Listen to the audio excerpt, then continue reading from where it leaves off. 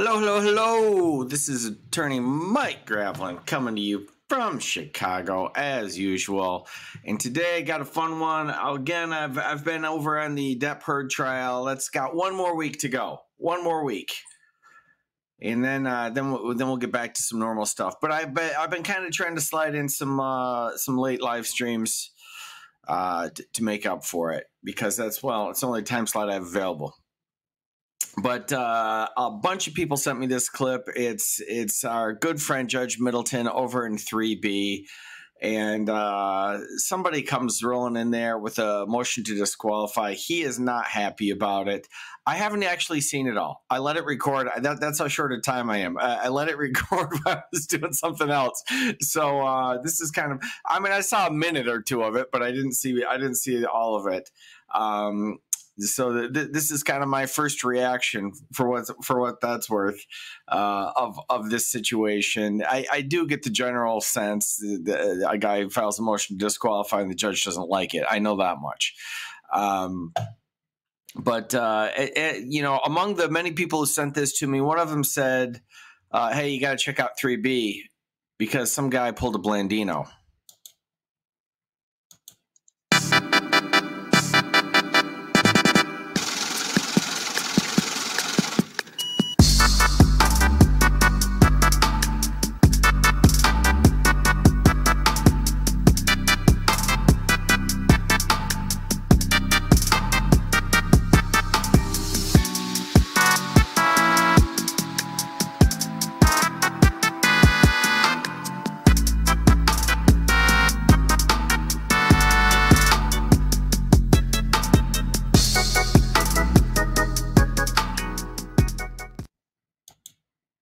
I couldn't help myself. I, I missed I missed the old uh, Kim Blandino dance. Thank you, Denise. That's awesome. I'm enjoying that all over again. I've, I haven't dusted that one off for a month or so. It's it's quality. It really is. Uh, I'll give one more shout out to Kick for that because I just I just went and shamelessly swiped it off his channel in the middle of the uh, Kim Blandino hysteria. All right, so let's get this party started. Let, let me here. There we go. Defendant's request and the plaintiffs and the defendant waive the right to have jury trial, so I've blocked out the entire day for trial in this matter.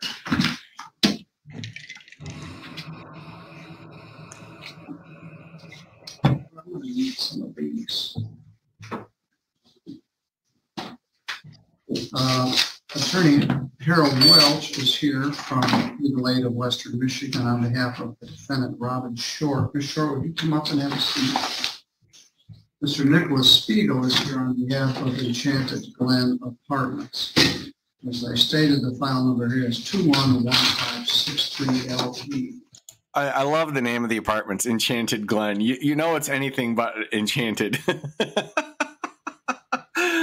and I didn't even realize this till now. So I was wondering if it, if it was pro se, but it sounds like there are attorneys on both sides of this. So it looks like the defense attorney brought this motion.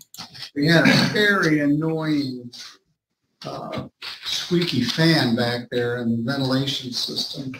It's driving me nuts. And the uh, custodial maintenance staff fixed it. So I'm very happy today. It's first time something has squeaked.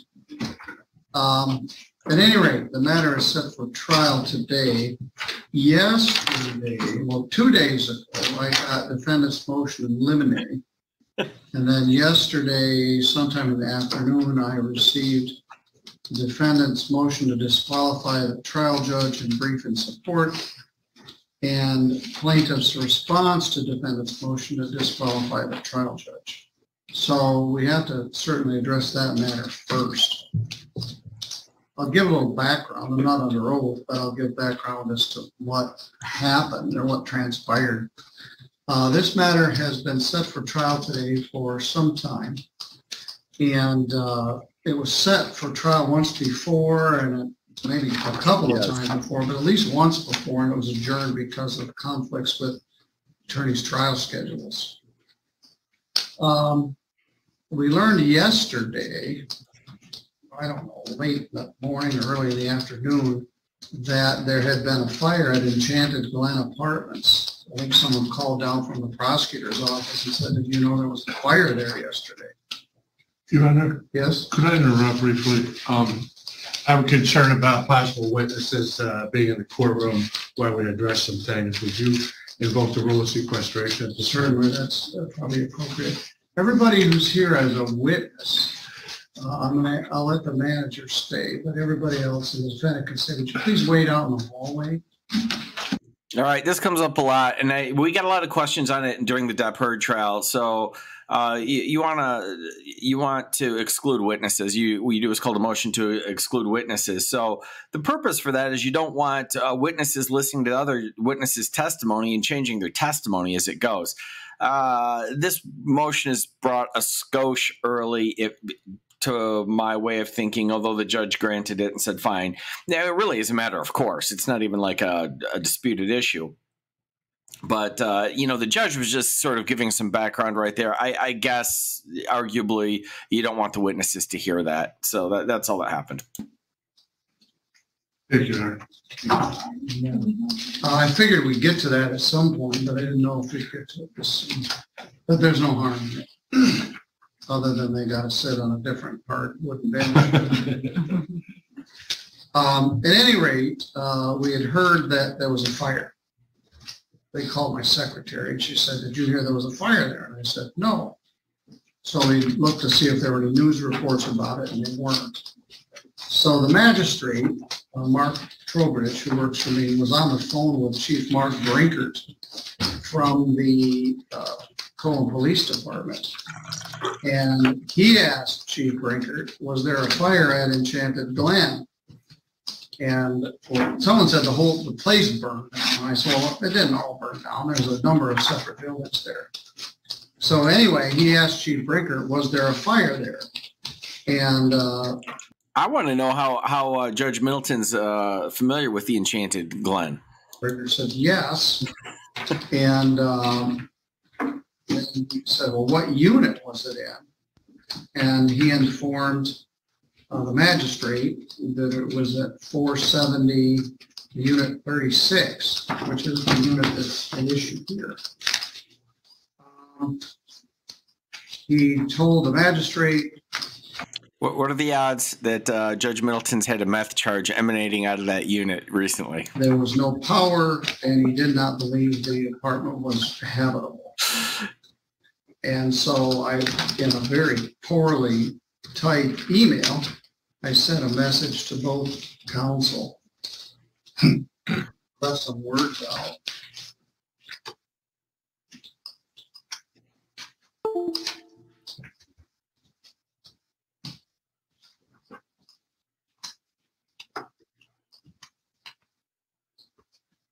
I sent it at ten twenty-four. I guess it was late in the mor- in the morning. Uh, It isn't certainly written very well. I'm advised by the chief of police of Colon, there should have said, was a fire in Robin Short's apartment number thirty-six last night, and it is presently unlivable. And I sent that to Mr. Spiegel and to Mr. Welch. Uh, Uh, he's so good. I mean, he's in this small town where no one's watching. Well, except for everybody on Law Talk with Mike. But but the rest of the world doesn't care what's going on in, St. Joseph County. And he is like so on top of it. He he documents all this stuff and he's transparent on the bench. He he he he discloses all the communication. And all it was was overhearing something that anybody in town would have heard. Then sometime later in the day, we got Mr. Welch's motion to disqualify. So, uh, Mr. Welch, after putting the premises from my perspective on the record, you wish to speak further to your motion? Yes, thank you, Your Honor. Um, and we, we wish to underline in no way, shape, or form are we indicating the court uh, intentionally did anything improper. Um, our concern is with, uh, of course, the, uh, the appearance of impropriety, and this is an unusual situation since Your Honor is the trier of fact. If this was a jury trial, uh, perhaps those conversations would have been um, completely harmless or not, not raising the possible specter of uh, disqualification. Um, so, you know, as I, as I viewed the canon and preparing my motion and uh, considering what happened, um, my conclusion was that the rules are not to get us as close to the line as possible. In other words, but the rule is to keep it far from the line. So um, the appearance of impropriety or ex parte conversations, um, you know, that's where we're at. The conversation happened. Uh, we don't think Your Honor uh, purposely tried to investigate the case, but it is complicated since Your Honor is the trier of fact. Well, why is it relevant? Why is it relevant? Well, I, as Mr. Spiegel said, I sent it out as a, do we still need to have this lengthy hearing in light of the fact there was a fire there?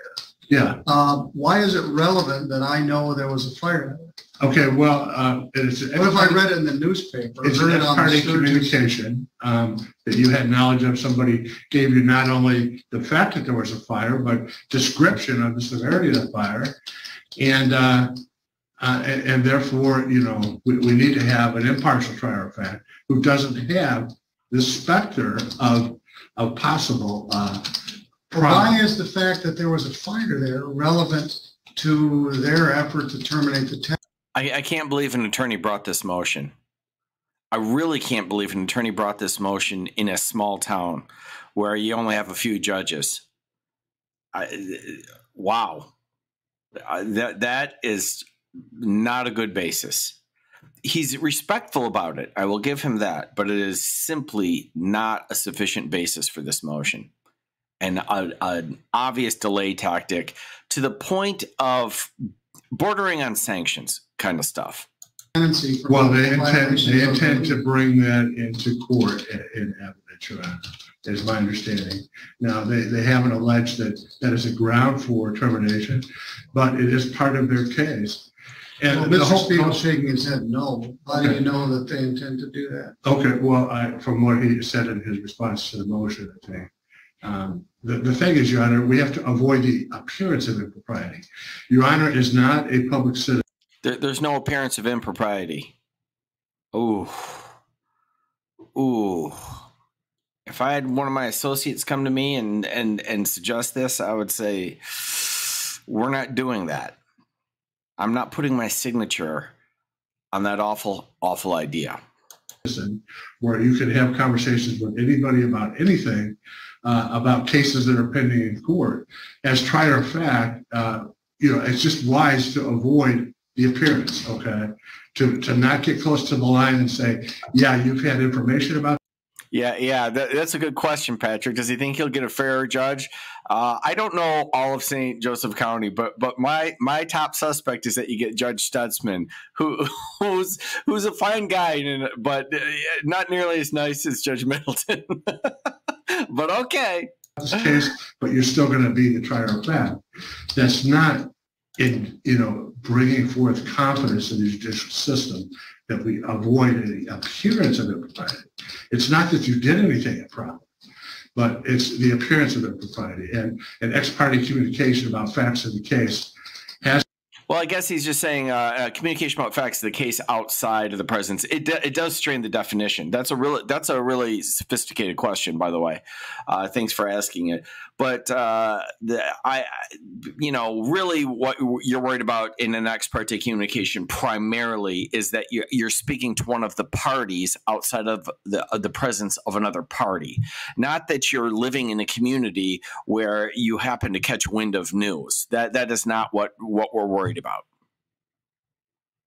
tainted the situation, Your. So we would respectfully ask that you, um, that you disqualify yourself. And, uh, uh, now I want to, I want to address one thing, uh, counsel on the other side mentioned I didn't attach an affidavit. Well, affidavits are for people who have personal knowledge who can testify. I don't have personal knowledge, so there is no affidavit apparent needed in this motion. Um, and if Your Honor denies Okay, okay. So there's the difference between a, an attorney and a sov cit. When, when an attorney discusses an affidavit, he actually knows what he's talking about. Now he's brought a bad motion, but he is familiar with the concept of an- affidavit, and he didn't attempt an affidavit of truth. is our motion, then we would ask that um, the motion be referred to another judge in the district court uh, for a de novo hearing on the motion to disqualify. Mr. Spiegel? Yes, Your Honor. Um, I guess I'll address that last part first. The, I didn't write the rule. The rule says must. It Doesn't say you can possibly, you can permissibly attach an affidavit. It says you must. They didn't. Um, but let's get down to the substance. I think, I think Your Honor has exactly right. Uh, we're not here today to terminate Ms. Schwartz's tenancy because there was a fire on Monday. Uh, this drama's been, I think we filed this back in September, October of last year. Um, we had, I think, our first hearing in December, I believe, if I remember correctly.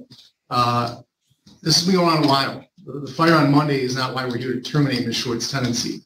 Uh, To Mr. Welch's uh, representation of the court that we intend to make it a relevant part of our case, what I told Mr. Welch and what I intend to do today, uh, to the extent the fire matters at all, is simply background for the rationale of why some of our maintenance people were there on Monday and what they observed about Ms. Short's apartment that would have had nothing to do with the fire.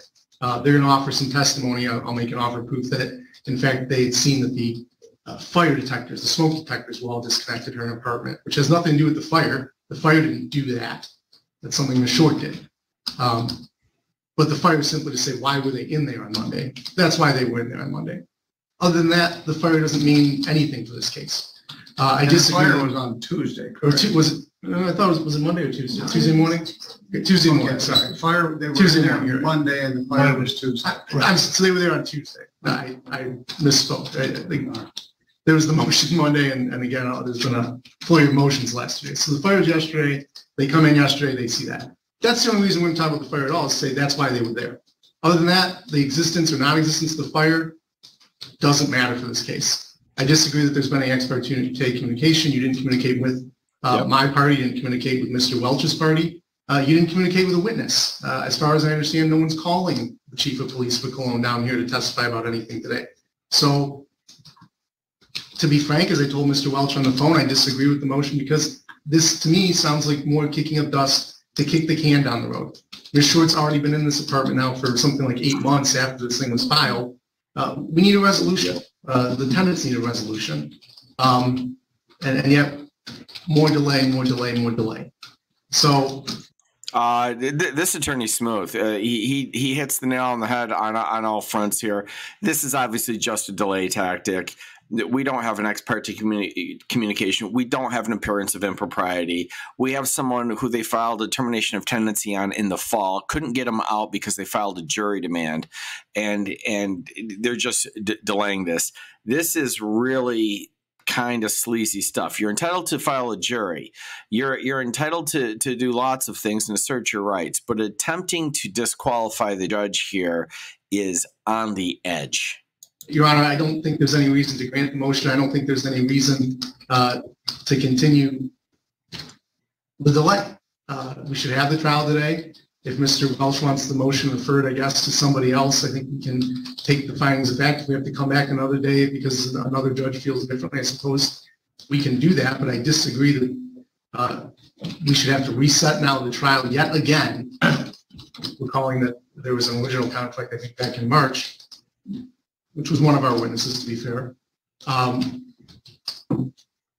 over something that's a red herring. I mean, lack of better term, there, nothing that you heard that there was a fire matters today's trial. If I offer that as some type of evidence that she needs to be evicted, I expect Mr. Welch will say objection relevance. Mr. Spiegel told us that was not why she was going to be evicted, and you would sustain such an objection. That's it uh, you heard about something that isn't going to determine about this case. I, I haven't been down here in a year or two, but I, I often recall times where you will call something about a witness or a defendant. Um, it's a small town. I understand that, but I don't think that's ever, to my view, uh, impinged on your ability to make a reasoned and impartial decision. So I, I don't think this motion is necessary uh, to be granted, and I'm kind of surprised it was brought, to be honest. Thank you. Oh I yeah, respond, Your Honor. you can get sanctioned for filing. Uh, Uh, first off, well, Your Honor, the reason there's Pleading been with no delays merit. is because plaintiff requested an adjournment, uh, which I granted a- as a courtesy, as a professional courtesy, as an attorney should for the administration of justice. But I also wanted to call your, Your Honor's attention to MCR two point oh three, um, D as in Douglas, three. Um, in a single judge court, or if a challenged judge is the chief judge, which I understand your honor is the chief judge, on the request of a party, the challenged judge shall refer the motion to the state court administrator for assignment to another judge who shall decide the motion de novo. So if you are inclined to deny our motion uh, for disqualification, we would respectfully ask that you, um, that you refer this to the state court administrator for assignment to another judge. I don't think I have any uh, choice in that part of the matter. But first of all, let me back up. I'm offended by this motion. Uh, You tell you tell him, Judge. So am I. I'm surprised he was that upfront about it, but good. Personally, I find it as a personal insult to me. Uh, But um, I'm denying the motion. A, I don't think any of the communication was improper, I set out the circumstances of what happened. B, it was relevant to me as to whether we're going to have an all-day or two-day trial on this matter on an apartment that apparently has burned, and I don't know to what extent it's burned. Secondly, if we go through the proceeding and the defendant is subject to termination of tenancy, she loses her right to probably find another subsidized housing. uh, And the ability to get such an apartment as she has. So if the apartment burned and the defendant decided we didn't need to go through this hearing, she wouldn't end up with a termination of tenancy on her record, reason for leaving last residence, the apartment burned. Translation: You are a crappy, crappy attorney, and you're not even helping your client, but in a very, very nice Judge Middleton sort of way. So relevant to her. Um, I'm also concerned that this case has been very delayed. The plaintiff asked uh, to have the matter heard. The defendant filed a demand for jury trial. We've not had a jury trial on a landlord-tenant case in 50 years in St. Joseph County. Because of the demand for jury, this case was delayed and delayed because at one point we weren't able to conduct any jurors. And then it took precedence over criminal cases. So a difficult time to find a place to put this on a jury day. So I set it for a jury trial and Mr. Spiegel had a conflict with another court and he requested an adjournment, which you graciously granted. Uh, but that's the only delay that's been up to them. So then I had to find another jury day to put it on, and then you waive jury. Um, so much of the delay was because of the defendant's demand for a jury trial and all the legal issues that have come up in the matter. Um, so regarding the motion to disqualify, the core rule cited by both parties is two point zero zero three May- Maybe I can Uh, make one for members. Grounds for disqualification. I think that's what you're trying to say. Found in two point zero zero three C. One, disqualification of a judge is warranted for reasons that include, but are not limited to the following. The judge is biased or prejudiced for or against a party or attorney. That's an OSG reference. The judge is biased on objective and reasonable perceptions that either have a serious risk of actual bias impacting the due process rights of a party or has failed to adhere to the appearance of impropriety standard, which he's referring to the Code of Judicial Conduct. The judge has personal knowledge regarding the disputed evidentiary facts that concern the proceeding. I don't know I do know there was a fire there, which I probably would have known if I'd listened to the Sturgis radio on my drive in this morning. I don't know the extent of the fire, I don't know the cause of the fire. Um, The judge has been consulted or employed as an attorney in the matter in controversy, no. The judge was a partner of a party, no. The judge knows that he or she is individually a fiduciary, no, and then the others. So it's under, I guess, B, uh, appearance of impropriety, and C, the judge has personal knowledge of disputed evidentiary facts. Um, Well, I didn't know the specific, although it sounds like Illinois. I mean, whatever, whatever. It's going to be similar in every state, but But boy, boy, is he irritated. He pulls out the code and reads the whole darn thing uh, to, to make sure that his ruling is clear. For example, let's say I talked to Chief Brinker and said, well, I was out there when there was a great big party at Robin Short's house and I had to get everybody out of there and uh, children were there and it was a terrible situation. That might be relevant. Uh, I've had no such conversation, probably no such thing took place.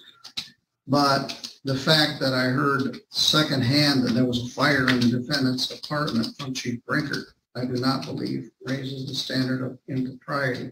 Particularly because, as Mr. Spiegel says, it's not relevant to all the allegations of violation of the lease. Yes, this is absolutely relevant. It's a termination of tenancy because they haven't been paying rent, and they haven't been paying for rent long before last fall when the, when this action was filed. The fact that they coincidentally had a fire in the complex last Tuesday is absolutely irrelevant to, to the to the case before them. Absolutely irrelevant. And, and then the judge happened to hear about it because he lives in the community, like probably 98% of the people who live in the community. Uh, if we have to move this, it's going to be difficult again to schedule it. All the witnesses are here. Uh, people are prepared, although I get a motion in limine two days before the trial. It's been pending for seven months. Um, and we've blocked out the time. Um, defendant current rent is zero. So we had contemplated an escrow order, but there's no effect to an escrow order when her rent is none. Uh, so the delays this, this is really despicable. It is just a pure delay tactic, as was the jury demand. But that's well within their rights. You got to find a time and have a jury. But they just they happen to hit everything right. They've got COVID and they file a jury, and, and now we're going to try to to do this all so that someone doesn't have to pay rent. I don't know who's putting their license behind this sort of thing, but it, it's not a good look. Certainly inures to the defendant. The plaintiff wants the defendant out. They wanted her out since they filed the matter in the fall of last year. They've continued to want her out up to and including today. And uh, all the delays are to her benefit. She continues to stay there against their wishes without paying any rent. So uh, my desire would be to hear the case today. I don't know the extent of the fire or what the condition of the apartment is. Um, let's say a meteor hit it and the whole place was disintegrated, and then I guess there'd be no need for a termination of tenancy hearing. But I don't know what the status of. I am not the chief judge. I'm the presiding judge of 3B District Court. Judge Pattison is the chief judge. I was the chief judge for many years and alternate that position. So Judge Pattison is here. I'm going to see if he can hear your request for a de novo hearing on the motion to disqualify. Uh, that that um, that rehearing, that de novo rehearing, and the motion to disqualify in front of Judge Stutesman is not going anywhere. It wouldn't go anywhere in front of, say, Judge Simpson. It wouldn't go any, anywhere in front of in front of uh, Lanice Bryant. Uh, I, I, mean, I could go down the list. Uh, Judge Gauthier would not having it. Well, everybody's here. Uh, that may not be feasible, but I'm going to see if he can hear your motion to novo right now. So uh, your motion to disqualify is denied. Okay, so he's denying his motion and he's going to try to give it to Stutesman like immediately. Look at the position they put him in. Uh, the, the the plaintiff they brought all, all these witnesses. This this is irritating. I don't believe there's any appearance of impropriety, and I don't have believe I have any personal knowledge of disputed evidentiary facts. So I will stop the record and turn off the live feed and uh, go see Judge Pat. Well, there you have it. Everybody sent that to me. I, I really did think that was pretty interesting. Uh, that that's one where you might have uh, accidentally learned something. Not from me, maybe maybe from Judge Middleton reading the code. Uh, I thought it was pretty interesting. You got to see him really set forth the, the idea of a motion to disqualify. Uh, it, you know, I haven't looked it up in, in Illinois. You know, in Illinois, this happens all the time when we get uh, sent out to, especially in jury, because we'll, we'll go in a pool. You can take a substitution of judge as a matter of right. Like you, we, we, we just get a substitution of judge motion ready because if we just don't like the trial judge that we're in front of and we think that they're not going to call it straight, we just hit them with a substitution of judge and, the, and you don't have to give any basis. Just you get one free. That's that simple. Uh, once a judge in Illinois, and this is probably true in every state, but it just happens to be where I practice. Once a judge has made a substantive ruling on a case, you cannot take a substitution of judge as a matter of right. Then you have to, it has to be for cause. You have to show something. So, um, you know, th- and that's very close to this. I, I, think here, I don't know if he's made a substantive ruling because all he's done is scheduling. That that would be a, an interesting fight in and of itself. But he chose to say that because uh, Judge Middleton's court was actually contacted, not him. And he hears secondhand that there was a fire in town, which is just something Judge Middleton would know because, you know, that's that's what Judge Middleton does. Um, you, you, know that that that's some some form of impropriety. I would not sign that motion as an officer of the court. I would say I am not signing this motion to anybody who suggested I do such a thing. I, I'm just not comfortable. That doesn't make sense. I, I need I need a proper basis, and I'm sure not going to do it in a, in a small county that I practice in that that's only got uh, a handful of judges. Because when you offend one judge in the county, uh, that's one thing. You can get away with this stuff in Cook County. There's a bunch of them. They don't like each other. The whole thing, you know, the whole shooting match. A small county, there's like, you might have four or five judges and they all know each other. It's a small club. And they generally like each other at that point because just because they don't have a choice because they have to work together. So uh, it, that's just a poor decision on all fronts. And I don't know what the financial incentive is to, for that. You've got someone who hasn't paid their rent forever. They're not a good client. They're not paying you. It's it's not like it's not like you're getting rich on this representation. Why are you putting your license and reputation on the line for this sort of thing? I, I don't understand it. I didn't even name the attorney. I don't know the attorney. It was it was a guy. Aside from the fact that this this um, motion had no basis, he otherwise seemed really sharp, which makes it even worse. He sort of softened it. I think I, I liked his presentation to the judge. Aside from the fact that the motion was meritless aside from that, he seemed to know the law and and it was well spoken, uh, respectful, all that all that business. It was it, that was a weird one. It, it, was very interesting, and I apologize um, if if if any knowledge was gained here. Again, I did not mean that. I did not intend that, and I'll try not to let it happen again. I think I'm going to go over. Uh, I'm not sure, but Natalie's got a stream going on. If it's still going, I think I'm going to hop on that. So if anyone's interested, I think I'm going to he- head over there. Have a good night. Oh, and thank you, Cheeky Fox.